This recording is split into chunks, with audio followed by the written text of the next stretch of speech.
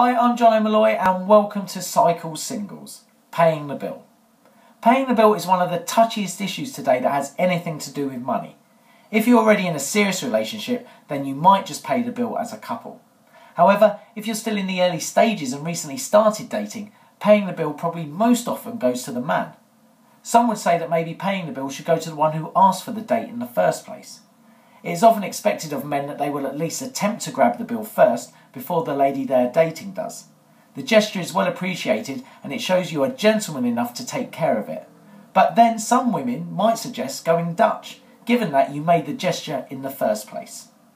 Never let the woman grab the bill first. That has to be the iron rule of dating. Except if she's talked about it firsthand, then maybe she will treat you to going for a drink or maybe even just a coffee. So why not give Cycle Singles a go today?